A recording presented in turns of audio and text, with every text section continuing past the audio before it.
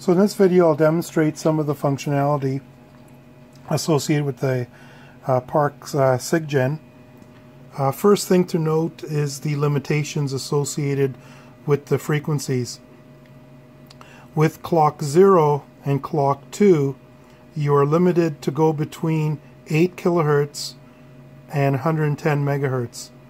That's a limitation of hard-coded because both of these uh, clocks on the SI5351 have to share the same PLL and therefore I had to choose a frequency range where they can uh, I can configure one PLL frequency and then I can uh, um, configure dividers to get uh, um, uh, frequencies between the two.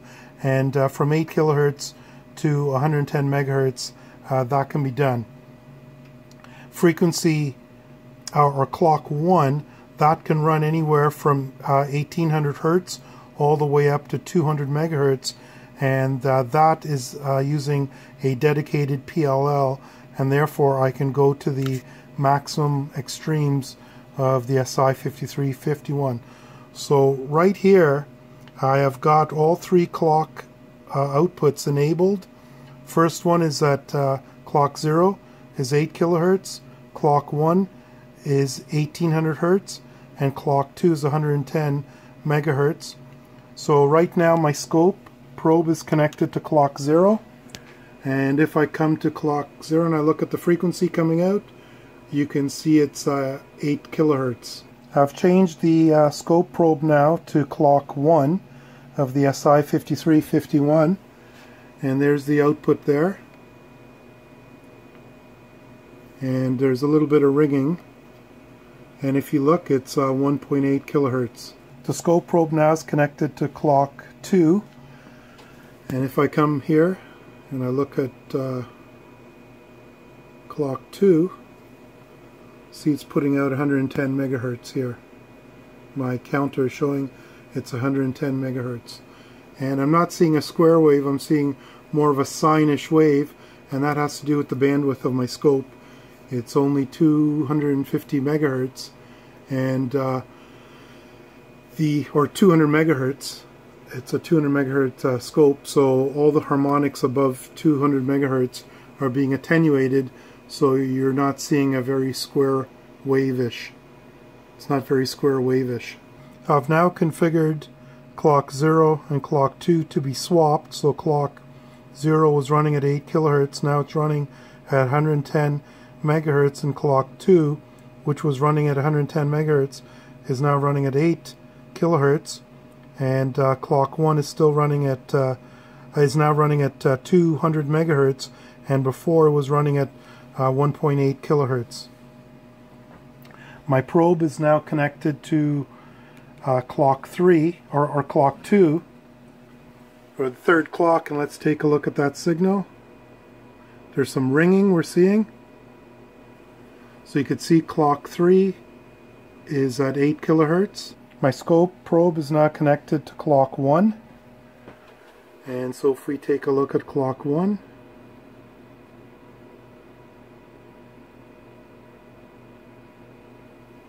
you'll see clock 1 is running at 200 megahertz.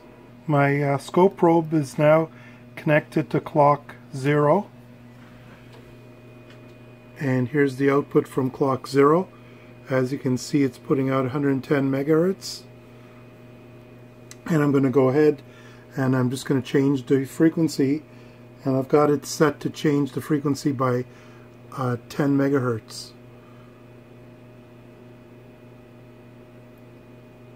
So I've just changed the frequency there now. And uh, on the dial it's showing uh, 100 megahertz. And here it's showing 100 megahertz. So I'm just going to go ahead and just keep changing it. There it's showing 90.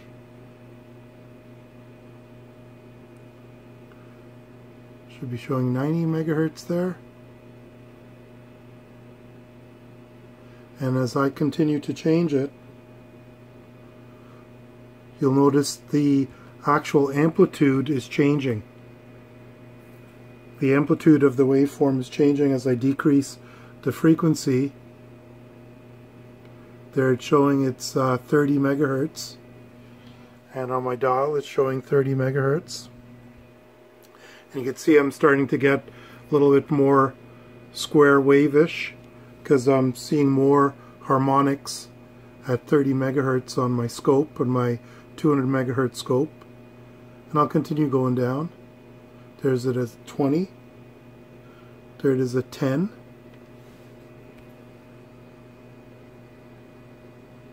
and we're seeing some ringing here on the edges on the sharp edges. And there's 10 megahertz. And I'm down to the minimum now which is 8 kilohertz.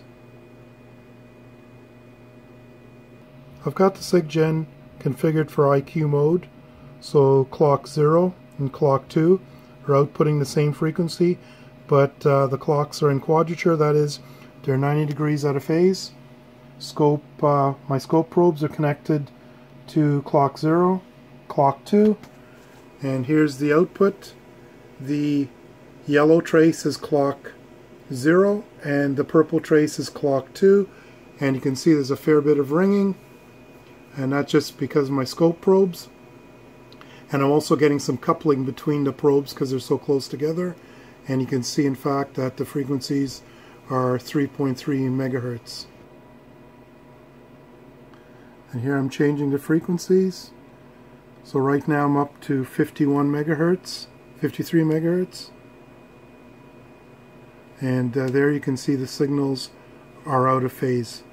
As you get higher in frequency, the phase difference is uh, is not quite uh, quadrature, it's a little bit less, but I think here it is actually in quadrature because the peak is here and the peak is here, which is roughly halfway between the peak and the trough of that first wave.